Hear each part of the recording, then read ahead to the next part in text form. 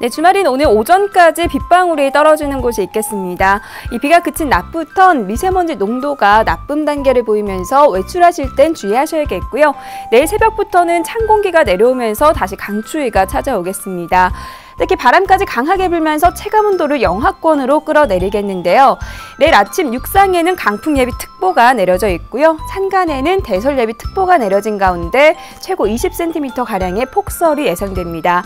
그 밖에 해안 지역에도 비나 눈이 오는 곳이 있어 최신 기상 정보 잘 참고하셔야겠습니다. 다음은 자세한 지역별 날씨입니다. 네, 현재 북부 지역의 기온 5도 내외, 낮 기온은 8도 안팎으로 어제보다 2도에서 3도가량 높겠습니다. 서부 지역도 평년 기온은 웃돌면서 대체로 포근하겠고요. 오늘 아침 남원의 기온 5도, 안덕과 서귀 10도, 낮 기온은 10도가 예상됩니다. 네, 동부 지역도 오늘까지는 큰 추위 없이 활동하기 수월하겠습니다. 산간에는 약간 눈발이 날리는 곳이 있겠고요. 윗서울음의 기온 영하 7도 나타내고 있습니다. 네, 섬적 하늘의 구름의 양은 많겠지만 기온은 어제보다 3도가량 높겠습니다. 해상에는 물결이 약간 높게 일겠습니다.